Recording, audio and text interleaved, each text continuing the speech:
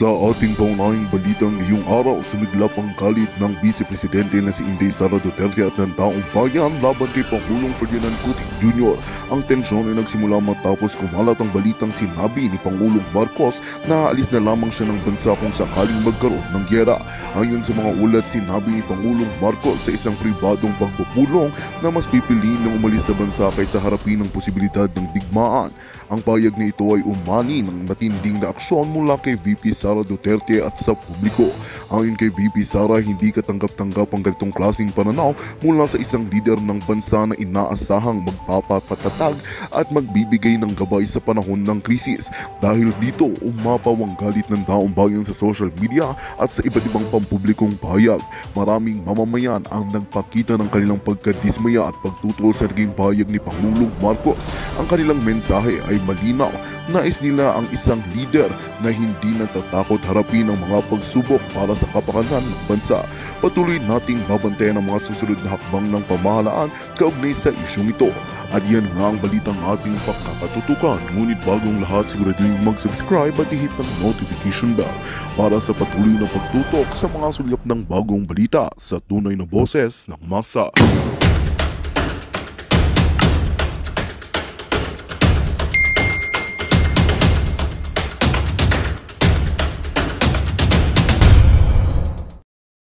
Pag-usapan natin ang isang magandang programa na sisimulan ng administrasyon ni PBBM.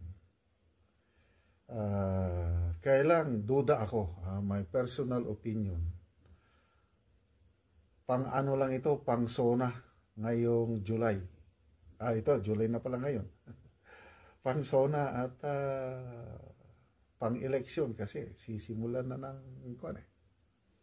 Okay, ano itong magandang programa? Ito po, ito, headlines ng Philippine Star. More Kadiwa stores to sell 29 pesos per kilo of rice. Wow! Palakpak naman dyan. Di ba maganda? Uh, 29. Ah, mababa na yan. Marami ang pipila niyan.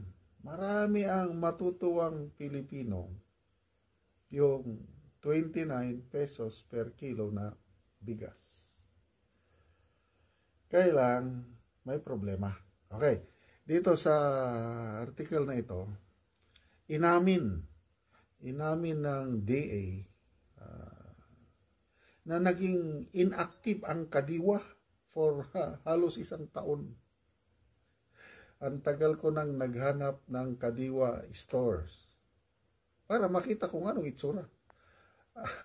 The last time na nakita kong kadiwa noong 1970s pa, estudyante pa ako noon. Panahon ni Marcos ha, Senior. Ngayon, ipinagmamayabang ng Marcos Jr. ang kanyang kadiwa Tandang-tanda ko ba yung last year nga SONA?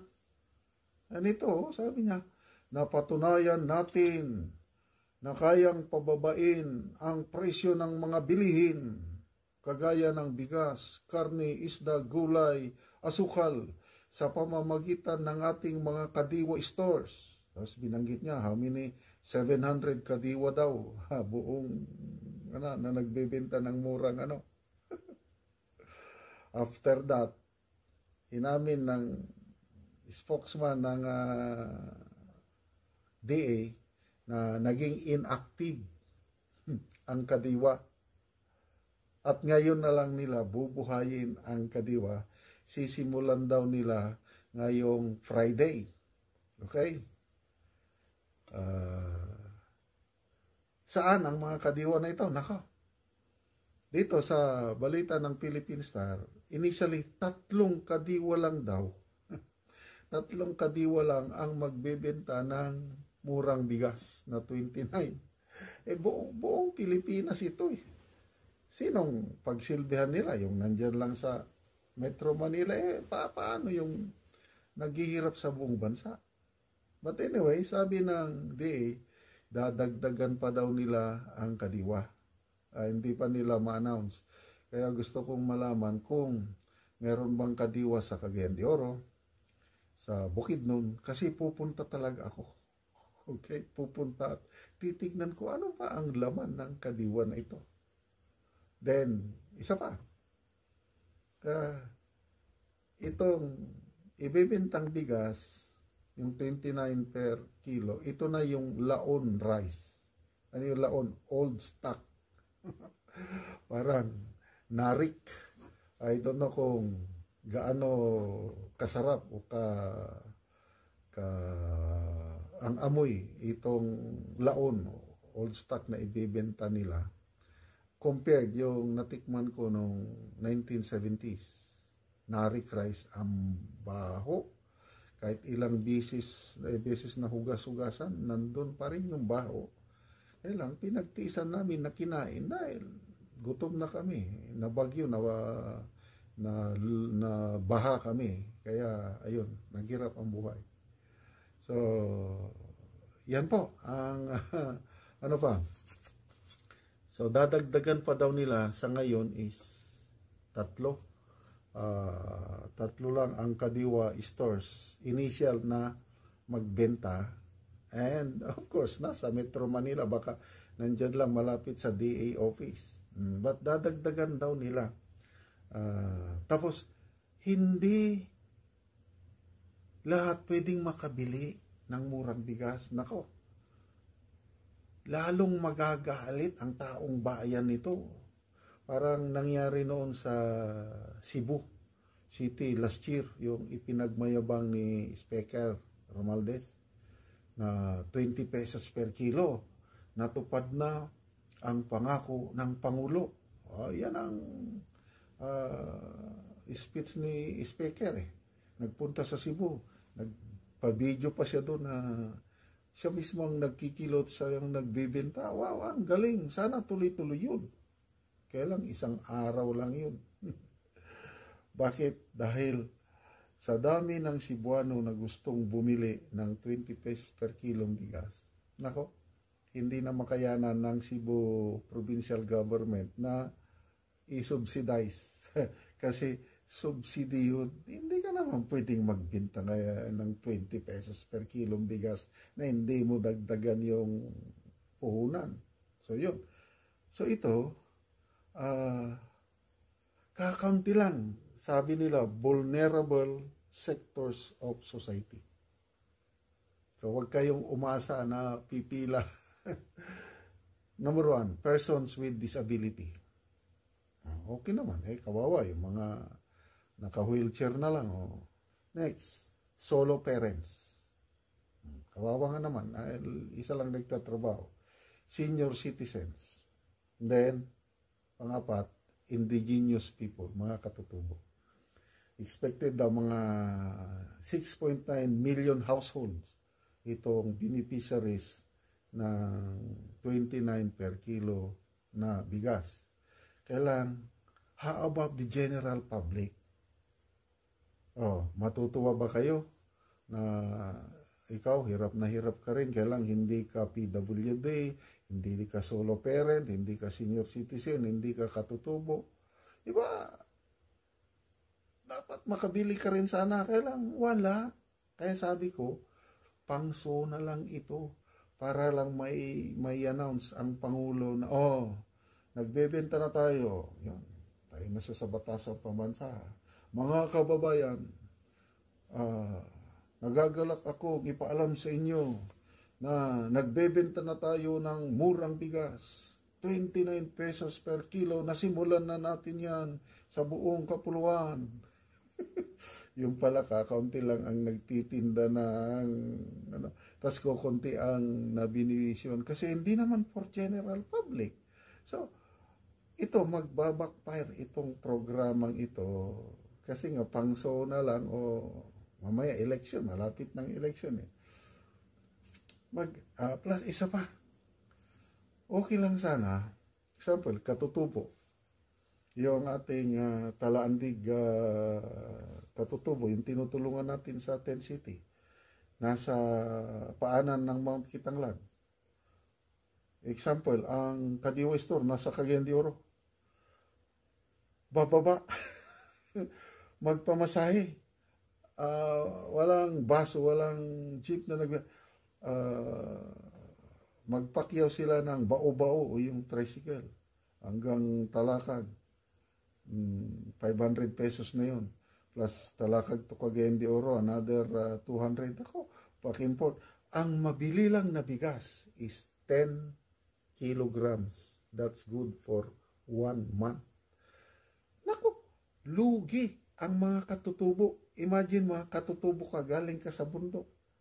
Pupunta ka sa karamihan ka diwa store, nasa sentro, bayan man o syudad. Magkano ang gastos pamasahe ng katutubo? Bibili ng 10 kilograms lang, babalik na naman. Lugi. Kaya itong programang ito, kung gusto man nilang tumulong is, kung sa Bisaya pa, taphaw. Ano bang taphaw sa Tagalog? Pakitang ano lang, ah, insincere. Nasaan ang katutubo? Di ba na, wala naman sila sa siyudad. Nasa ano, mabuti kung ang kadiwa Easter nila dadalhin nila sa bundok. Maniwala ba kayong magtatayo sila ng kadiwa store doon sa bundok? Wala, sa siyudad lang yan, sa mga town centers na malalaki. Yan ang kadiwa. Ang tagal ko na nga naghanap ng kadiwa hanggang ngayon, wala pa rin. Kaya ito po, ah, palakpakan natin itong tawag nila Bigas 29 program. Mm. So, tingnan natin. Ah, Friday, magsisimula na daw. Magpapahanap ako ng Kadiwa Store at sana may mahanap kami. Kailang paano kami bibili yung talaantig? Magpapamasahe. Lulu, malulugi. Ay, huwag na lang. Kanila na lang. Inyo na lang ng inyong 29 pesos per kilong bigas. Kung ganyan man lang ang klase ng programa na limited lang ang inyong kadiwa. At huwag nyo nang ipagmayabang. Uunahan na natin yung pagmamayabang nila ng kadiwa. Ang budget ng kadiwa for 2024 halos half billion. If I'm not mistaken 429 million pesos budget ng kadiwa. Inamin nila na naging inactive. Anong nangyari doon sa punto ng kadiwa? So yun po ang mga tanong ngayon. At uh, I don't know kung anong kahinatnan nitong Bigas 29. Malapit na po ang eleksyon. Bakit ngayon lang ni-revive ang kadiwa? Oh, timing. Kung tut talagang totoo sana na pagsilbihan ang mga kapuspala, dapat tuloy-tuloy yung kadiwa na yan na ipinagmalaki ng presidente nung last na zona niya, tuloy-tuloy at dadami, damihan niyo ang kadiwa. Hindi yung guerrilla. Yung guerrilla. Nandyan ngayon, bukas wala na. Papakita lang. Yan. Yan ang tatak ng administrasyong ito. Dapat gayahin niyo yung tatay niya, Marcos Sr. Permanente ang mga kadiwa noon. Ngayon, wala. EF ang isang paraan ng ano pag-deliver ng package o supply sa pamamagitan ng Guided Precision Aerial Delivery System o GPADS. Nangako ang Commanding General ng Philippine Air Force na si Lieutenant General Stephen Pareño na handa ang hukbong impapawid na rumesponde upang ipagtanggol ang teritoryo ng bansa laban sa mga trespasser. when trespassing aggressors are denying us our right to our own territory, threatening our ships and harming our soldiers, we are ready to respond swiftly with courage and firm resolve in defense of our sovereignty in honor of our flag. Kabilang sa mga bagong asset ng Air Force na nakuha ngayong taon ay ang C-130H Tactical Transport Aircraft mula sa Estados Unidos. Gayun din ang TPS P-14ME E Mobile Air Surveillance Radar na mula sa Japan bukod sa naula ng FPS-3ME E Air Surveillance Radar System. Nakuha naman ng Pilipinas noong 2023 ang dalawang unit ng T-129 attack helicopter mula naman sa Turkey at brand new na Cessna 208B surveillance aircraft galing US. Nel Maribuko, UNTV News and Rescue, Diyos ang namin Okay, so ah, mabuhay ang ating mga airmen sa Philippine Air Force. Ah, yung ibinalita ng mga dagdag ah, air assets, napakaganda na po yan. Talagang papunta na po tayo doon yung modernization. Dumadami ang ating air assets. Kaya lang, kung i-compare mo sa China, wala pa yan. Ah, sinsilyo lang po yan. Yung ipinakita dyan na yung FA-50 na tinatawag fighter jets, actually, hindi yan fighter jets. Trainer jets lang yan. Wa, zero pa ang ating real fighter jets. That's reality. Yung FA trainer fighter jets natin, napakalakas na yan kung ang kalaban natin, yung mga NPA. Kung ang kalaban natin, example, yung Marawi Seeds, mga terorista, wala silang aircraft, nako, ang lakas na yan. Kailan kung iharap mo yan sa China, nako, walang binatbat itong ating Air Force. Okay? Hindi sa dinidegrade ko ang ating AP, but that's reality. Napakahina po ang ating defense capabilities. Okay? Okay. Eh, sinerch ko dito, no? Ah, China versus Philippines. Makikita mo dito sa internet, makikita yung comparable strength. Okay? China, ah, may tinatawag na power index. Ah, itong pinag-aralan dito is 145 countries. Ang China, ang rank niya is rank 3 out of 145 countries. Third most powerful country in terms of military strength. So, sino ang pinaka-powerful? US. Sunod, Russia. Pangatlo, China.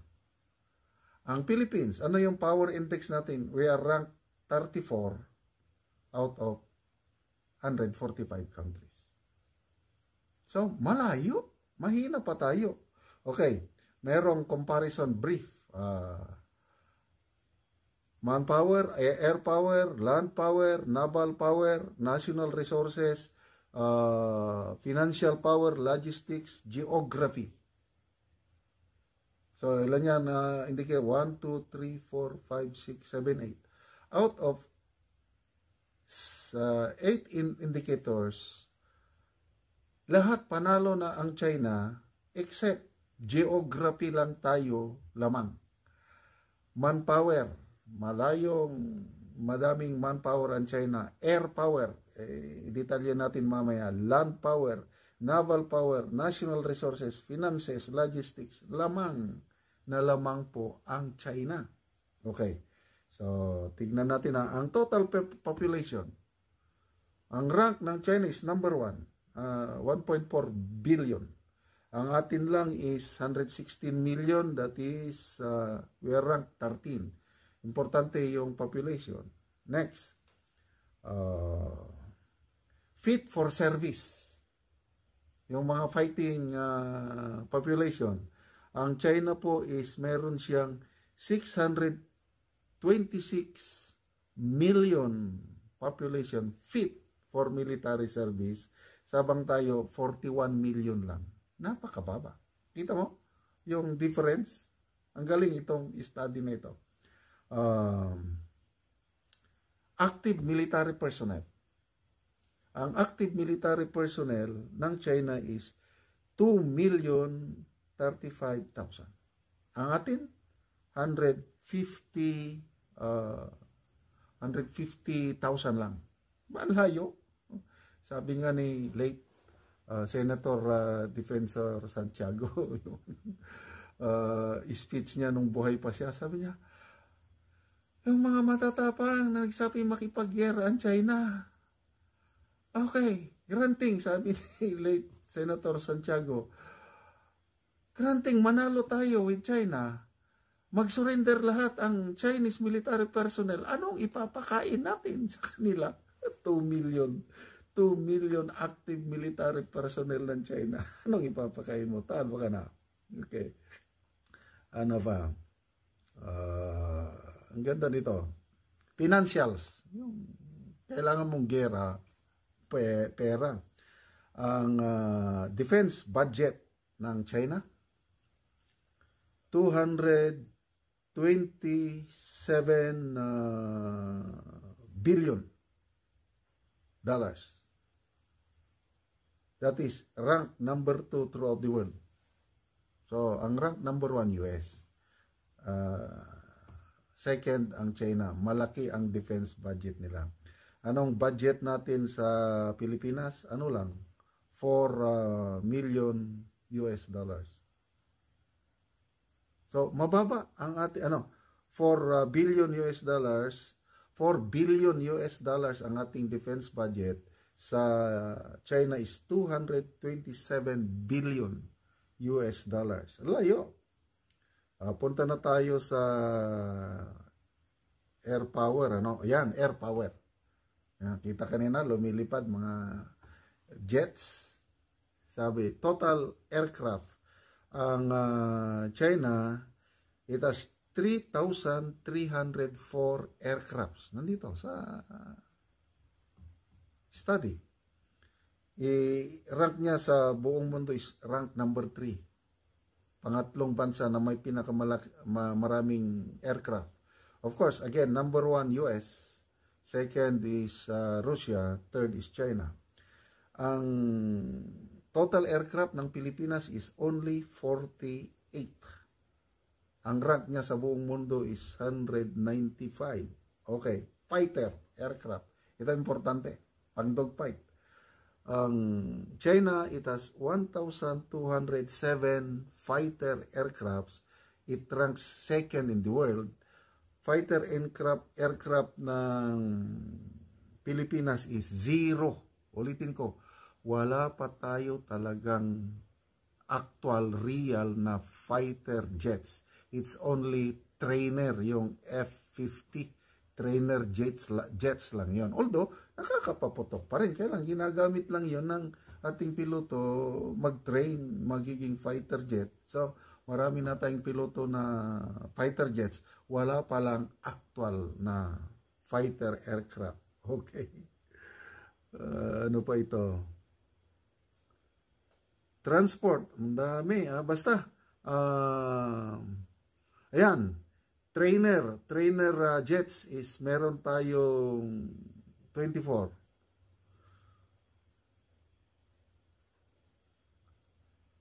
Basta lahat ng ano, uh, helicopters. May, ang China is 913 helicopters. Sa atin is only 115 helicopters. Uh, attack helicopters. Ang China meron siyang 281 attack helicopters. Tayo, dalawa lang. Ayan, nakita ko na itong dalawa na ano, attack helicopters galing sa Turkey. Land power. Oh, dito na. Land power, uh, tank strength. Ang tangke ng uh, China is 5,000 tanks. Ang rank niya throughout the world is rank number 4. Ang Pilipinas, ilan ang tank natin? Sampu. Yung talagang tangke na ano, rank natin is 96 throughout the world. You know, 10 versus 5,000. Anong laban natin dyan? Armored vehicles. Ang China, it has 174,300 armored vehicles. Samantalang ang Pilipinas, we have only 7,562. Ang layong diferensya. Nako. Uh, self-propelled artillery, yung kanyon. Ang China, it has 3,850 artillery. Ang Pilipinas, we have only 12 self-propelled uh, artillery. Towed artillery, yung ginuguyod. Uh, ang China, it has 1,434 towed artillery. Samantalang Pilipinas, we have only 289. Mobile rocket projectors. Ito, importante. Yan ang magpapaano ng mga missiles. Ang China, rank number 1 sa buong mundo. Talo pa niyang US. It has 3,180 rocket projectors, mobile. Pilipinas, ilan? Zero. Ayan ba yung andang makipaglaban? Na, naval power. Okay. fleet strength ang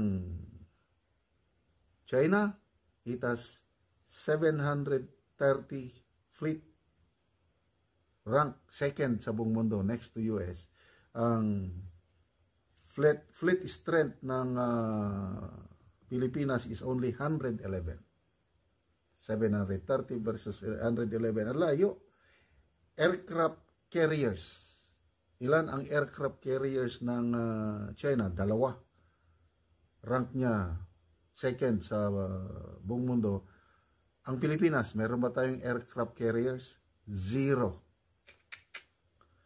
Uh, hello carriers, helicopter carriers. Ang China merong tatlo. Again, Pilipinas, zero. Submarines. Importante ito sa gera. Ang China mayroong 61 submarines. Rank niya number 3 sa buong mundo. Again, Philippines, zero. Hmm. Destroyers. China, it has 49 destroyers. Uh, zero sa Pilipinas. Frigates. 42 frigates sa China. Tayo, meron tayong dalawa. Bagong delivery. Yan, nagsisimula pa lang tayo. Corvettes. Corvettes, ito, basta ang barko sa Navy iba-iba. May corvettes, frigates, destroyers. Depende sa size. Ang uh, corvettes ng China 72, ang Pilipinas meron pa lang tayong isa. Patrol ve- vessels, ang China merong 150 patrol vessels, ang Pilipinas 58. Mine warfare, ang uh, China merong 36 mine, mine warfare vessels, samantalang ang Pilipinas zero. So, lahat talo tayo eh. Saan ba tayo? Okay, isa lang panalo natin, geography. Mas maganda ang ating uh, geography. Ibig sabihin, uh, strategically located ang ating bansa. Kaya, pinag-aagawan tayo ng US and China. Eh, US na ang nakalamang. Pinapasok na ng Pangulo. Nandito na. Kaya, galit ang China. Kaya, dyan tayo uh, nalalagay sa alanganin dahil yung presensya ng US forces dito sa Pilipinas. Magandang balita ang hatid namin sa inyo ngayong araw. Sa pagtatapos ng aming balitaan, nagbigay kami ng mga mahalagang impormasyon. Maraming salamat sa pagtutok at pagsuporta sa aming programa. Huwag kalimutang manatili sa mga susunod na araw para sa mga bagong balita at mga kwento na dapat nating abangan. Mula sa boses ng masa, magandang araw Pilipinas!